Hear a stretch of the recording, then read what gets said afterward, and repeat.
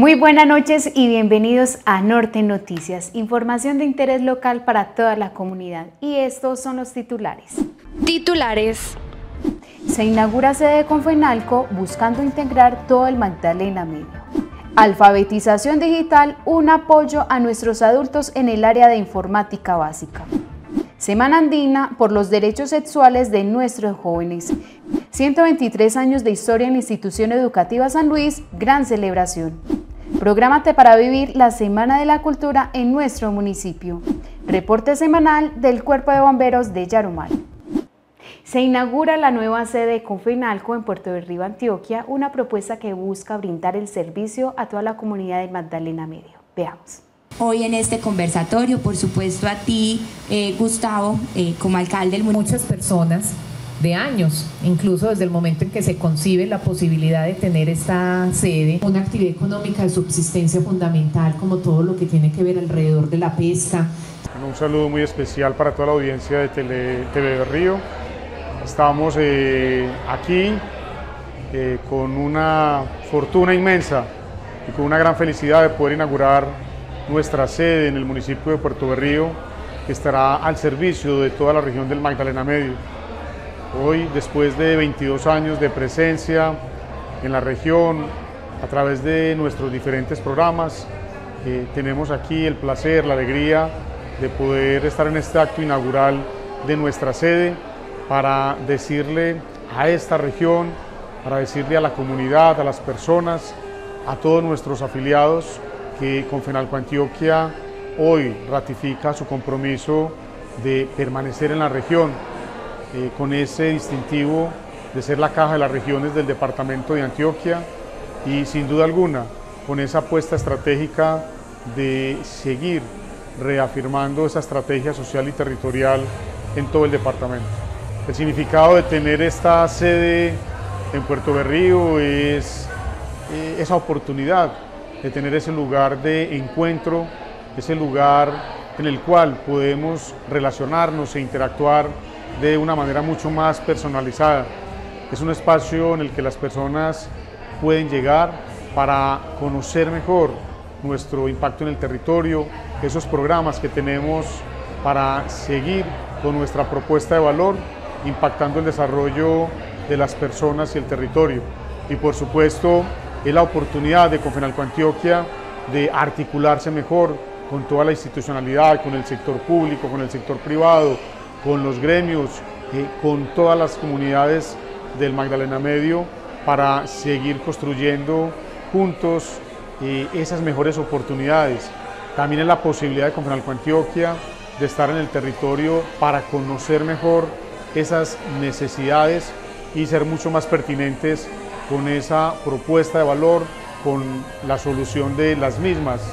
La Cámara de Comercio como actor del territorio celebra con gran acierto y felicita a la Caja de Compensación Confenalco por la inauguración de esta sede, que sin lugar a duda va a contribuir al bienestar social, a enriquecer ese tejido empresarial del territorio a través de ese trabajo articulado y en red que hemos venido realizando con la Caja a través de diferentes eh, programas.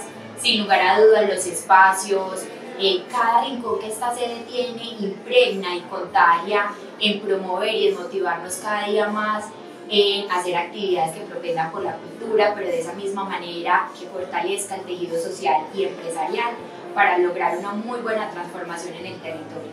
De nuevo, desde la Cámara queremos felicitar a la Caja por esta gran apuesta del Magdalena Medio como eje articulador con los diferentes municipios que el proyecto más próximo que tenemos, eh, además de la oferta que tenemos en el municipio, con nuestros programas de atención integral a la niñez, de jornada escolar complementaria, es eh, también complementar toda esa oferta eh, educativa y de formación que tenemos en la región. Y ese proyecto próximo es un sueño que tiene esta administración y que, como nos manifestaba en su momento, eh, ha sido una expectativa frustrada en algunas ocasiones, es que vamos a llegar con un proyecto de vivienda en el cual queremos impactar más de 300 personas, son 312 personas, 312 familias que estamos proyectando, acompañarlos en ese sueño de tener esa vivienda digna y bueno, en el cual pues haremos una inversión aproximada de unos 40 mil millones de pesos. Ya nuestro consejo directivo eh, aprobó los recursos de nuestro Fondo Obligatorio de Bien de Interés Social para desarrollar el proyecto y ya tenemos pues un aliado muy importante que nos va a acompañar en la construcción. Alfabetización digital, una propuesta pedagógica que busca introducir a los adultos mayores en el manejo de la informática básica. Veamos. En recibidos, recuerden que a la izquierda tenemos un tablero Eso, que dice ¿Dónde se lo recibió Rosy? Rocío, y también Rocío le parece lo que, los que usted está enviando. Vamos a entrar al correo que nos envió nuestra compañera y vamos a buscar la opción de responder. Eh, buenas tardes. Eh, alfabetización digital nace como una propuesta o una necesidad desde la biblioteca para alfabetizar adultos. Eh, esta se propone alfabetizar adultos, pero en el área digital, es decir, para que nuestros adultos aprendan a enviar correos, aprendan a crear su correo, aprendan a redactar textos, aprendan a manejar redes sociales como Facebook, Instagram o WhatsApp. Eh, finalmente es como como integrar esta población adulta para que ellos también puedan interactuar con nosotros los jóvenes en términos de, herramientas digitales, es decir, que podamos interactuar a través del correo, de las redes sociales, eh, de WhatsApp, que ellos también tengan la facilidad y la posibilidad de redactar una carta, una solicitud y de este modo puedan eh, desenvolverse más fácilmente en lo que implica esto de las nuevas tecnologías que están ligadas muy al, al diario, que es por ejemplo pedir una cita, manejar una plataforma de salud.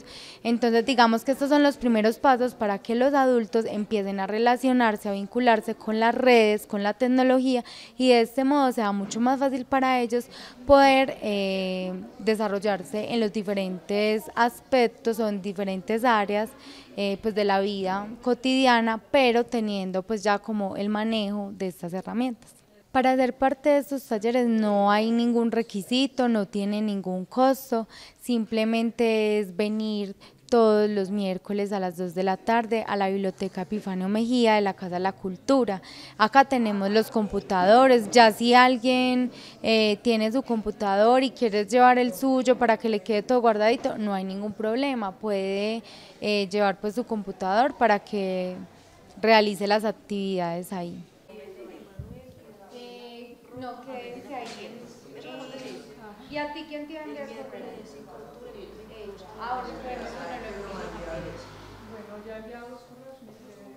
Estamos en el taller de computadores, eh, aprendiendo mucho, así que, que, no, que tengamos en cuenta que no importa la edad, porque todos necesitamos aprender, así estemos ya en la tercera edad, pero sí es muy indispensable aprender de todo porque todo nos sirve.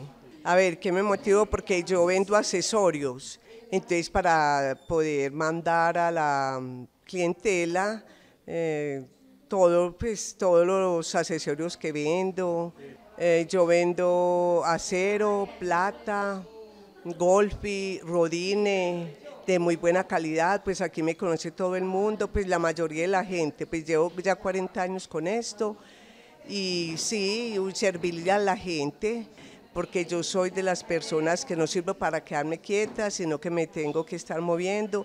Por eso también vine a esto, a, ayudar y para que la gente también se anime, a que aprendan, aprendan, que esto es indispensable. Todo lo que uno aprende le sirve. Semana Andina, Semana de los Derechos Sexuales de nuestros jóvenes en Yarumal.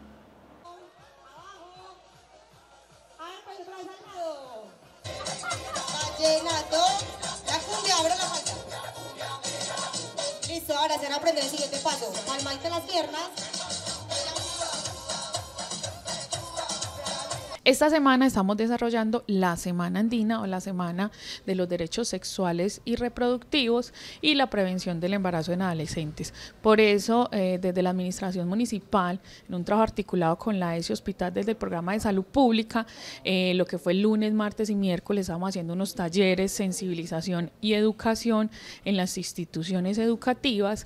El jueves tenemos un cineforo a las 2 de la tarde en la Casa de la Cultura, donde también vamos a estar trabajando esta temática de los derechos sexuales y reproductivos con todos los chicos de las instituciones. Y el cierre es el viernes. El viernes tenemos una gran feria de la salud sexual y reproductiva, donde vamos a tener varias temáticas. ¿Cuáles vamos a trabajar? Infecciones de transmisión sexual, vamos eh, a tener toda clase de público, tanto jóvenes como adultos, porque es un tema que nos interesa a todos.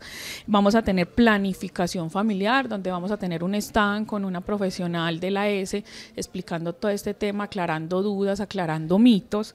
Eh, vamos a tener también un stand en educación sexual para los muchachos que tengan dudas también, mitos, se ven muchos mitos en todo este tema de los derechos sexuales y reproductivos. Y vamos a tener un stand de equidad de género. También vamos a hacer un cierre en la tarde con una rumba aeróbica donde vamos a tener el Inderjar apoyándonos con esta actividad. Entonces invitamos a toda la comunidad para que se haga partícipe. Esta semana ayuda a que todos los jóvenes sean un poco más conscientes de su sexualidad, manejen eh, bien todos estos elementos y toda esta información. Vamos a estar también a los adultos y a los jóvenes mayores de edad entregando preservativos, dando orientaciones de todo el tema de cómo hacerse los exámenes cuándo hacerse los exámenes de transmisión sexual, porque no es solo para trabajadoras sexuales o personas que tienen riesgo, hay personas que tienen riesgo y no lo saben, que han tenido alguna relación sexual de riesgo o eh, vienen con una vida sexual activa y, por eh, salud se deben hacer estos exámenes. Entonces vamos a trabajar todas esas temáticas de prevención del embarazo en adolescentes y eso es un programa, eh, como les dije inicialmente, es la Semana Andina que vamos a estar trabajando todos estos elementos. Bueno, a este gran cierre están invitados toda la comunidad, especialmente adolescentes y jóvenes, pero toda la comunidad puede participar porque todos estamos en riesgo de contraer una enfermedad de transmisión sexual, eh, pero nos estamos enfocando también mucho en explicarle a los adolescentes y a los jóvenes cuáles son sus derechos sexuales y reproductivos, en enfocarnos y sensibilizarlos a ellos de manejarlo de manera responsable. Entonces, realmente está invitada toda la comunidad a esta actividad porque una, un examen de transmisión sexual se lo puede hacer cualquier persona, pero nos enfocamos mucho en priorizar los adultos, eh, los jóvenes y los adolescentes, así que eh, todos bienvenidos a esta actividad. 123 años de la institución educativa San Luis, una gran muestra de la labor educativa en este municipio.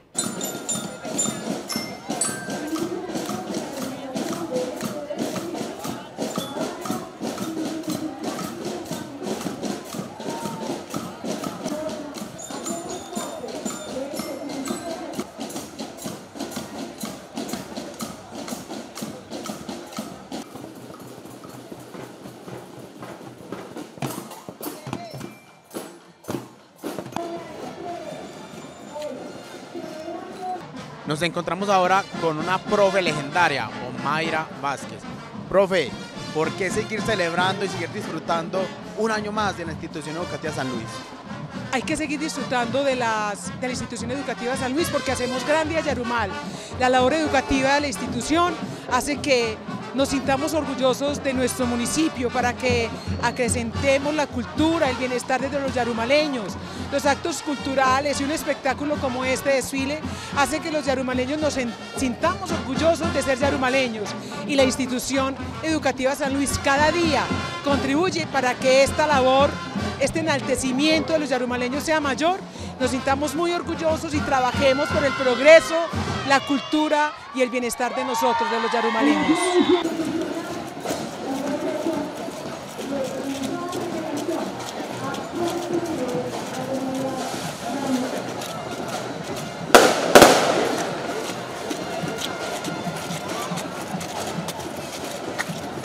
Acompañamos los 123 años de la institución educativa San Luis.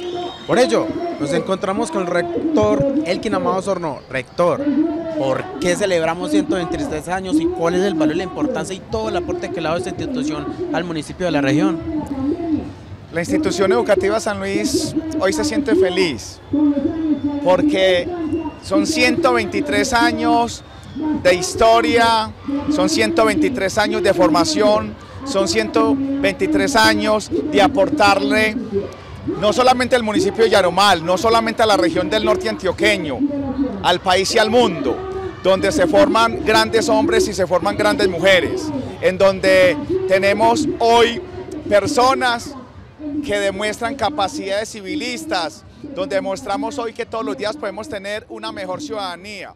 Son 123 años donde tenemos gratitud por las personas que han pasado por esta institución, que nos han dado una buena herencia y que hoy nosotros, con estos niños, estas niñas, estos jóvenes, hoy con los maestros, hoy con los padres de familia, con los egresados, estamos diciendo, aquí estamos y queremos seguir generando todos estos procesos de bienestar. Acá la educación integra todos los procesos culturales, deportivos, afectivos. Construimos también paz. Estamos diciendo cómo la educación es esa esa gran herramienta de transformación que permite a toda la ciudadanía poder tener mejores opciones de mejoramiento. Hoy cómo pensamos que a través de la educación, todos los días nosotros podemos decir, acá estamos para transformar mejores mundos. Uno alcanza a mirar la alegría de las personas que van pasando en este momento y dice, ¿qué estamos haciendo en este momento? Pero lo más importante y lo más fundamental, que queremos todos los días ser mejores y cuál es el beneficio que tenemos para mañana.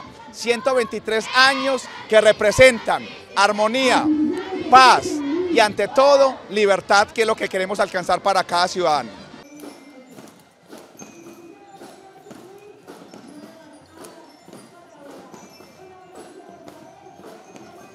Prográmate para vivir la Semana de la Cultura en nuestro municipio, grandes eventos, muestras culturales que se estarán llevando a cabo durante esta semana. Atentos a esta programación.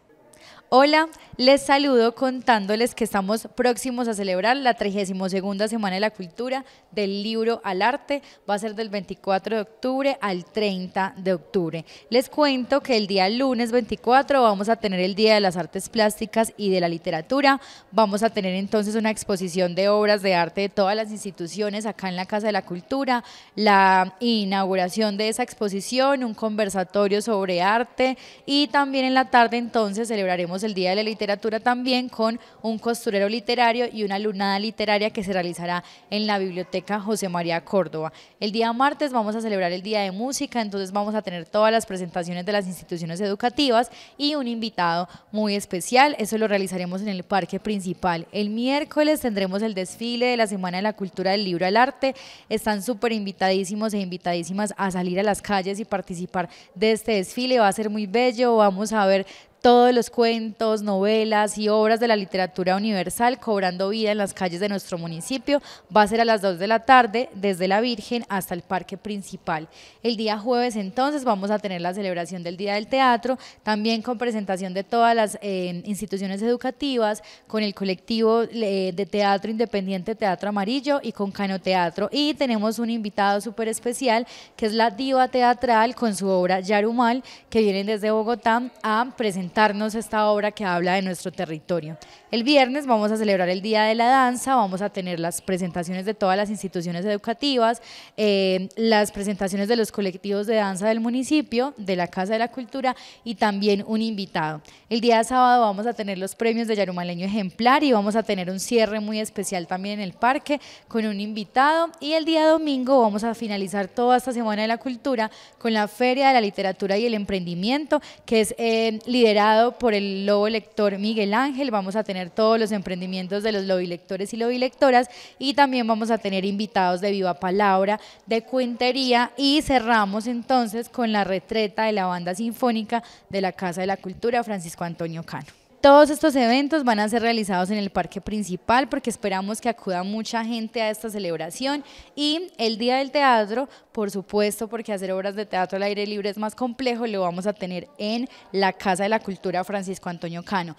En vista de que son tan pocos puestos, entonces vamos a tener boletería, estén súper pendientes de nuestras redes sociales porque allí les vamos a estar informando cómo pueden adquirir las boletas.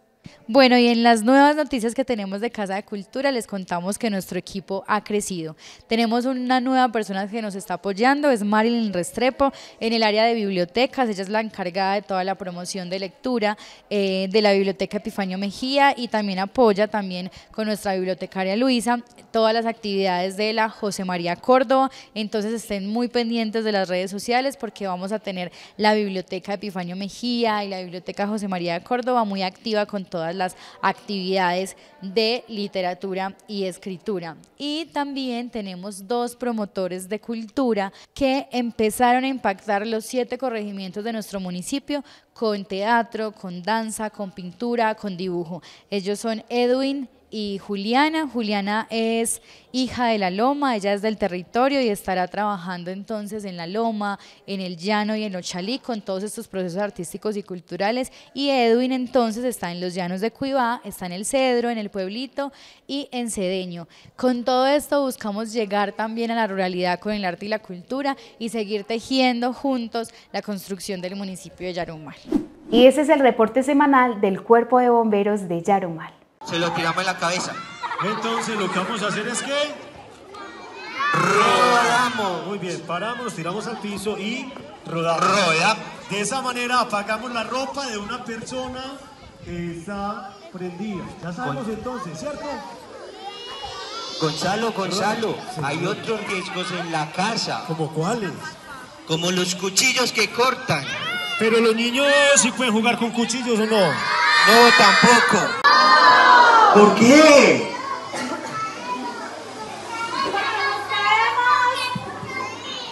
En una emergencia no se corre. Entonces, si hay un terremoto, nos vamos a agachar y nos vamos a cubrir. ¿Cómo? Esa es Paola, Miren a Paola, esa es Paola. Se cubre la cabeza. Bueno, muy buenas para todos. Eh, mi nombre es Angela Velázquez, soy la psicosocial encargada de los centros de desarrollo infantil Estrella del Norte y Sueños Mágicos. Primeramente darle una parte de agradecimiento al Cuerpo de Bomberos por habernos acompañado este día.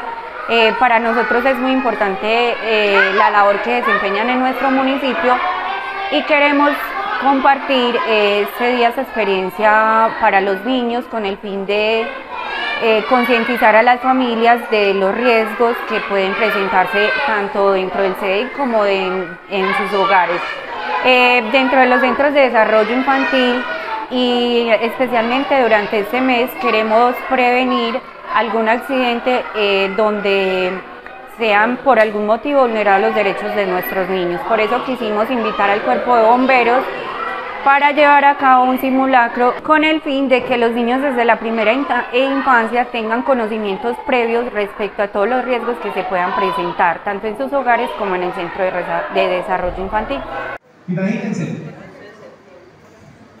un país del primer mundo, totalmente desarrollado, preparado para todo, y sufrieron una, una contingencia tan difícil de controlar, algo tan inesperado el día de hoy nos encontramos acá en la institución educativa de María participando del carrusel que nos trae el Cuerpo de Bomberos de gestión del riesgo.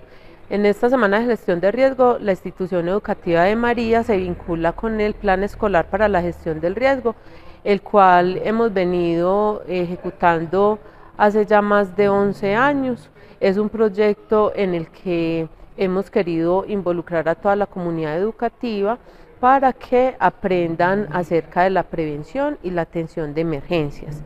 La verdad que eh, damos un agradecimiento muy especial a Cuerpo de Bomberos, quien ha sido una entidad que nos han apoyado altamente en todos estos procesos, quienes nos han asesorado y nos han acompañado. Tenemos como pretensión final ya durante este año participar en un simulacro de evacuación municipal donde vamos a integrar varias entidades a nivel de Yarumal.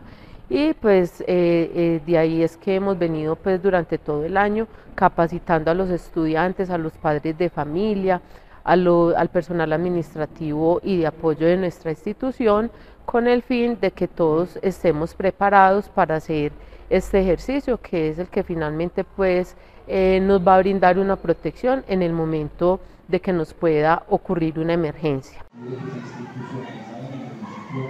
La semana la gestión del riesgo, pero, pero haciendo por hacer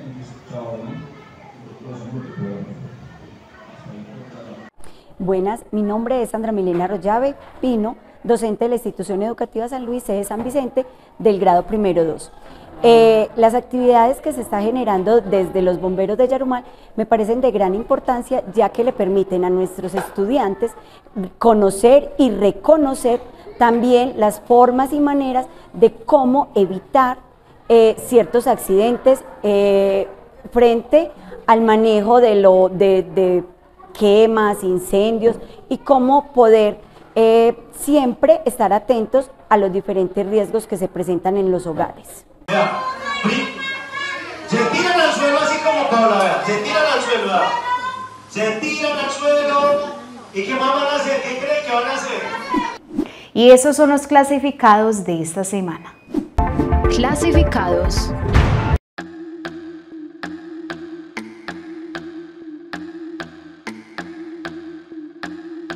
Tu soy Latin Crew.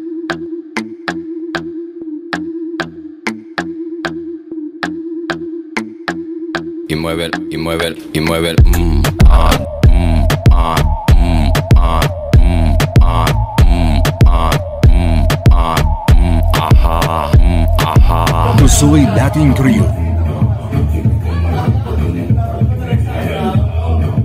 Servicio de empleo con Fenalco Antioquia. Te acercamos a oportunidades de empleo digno.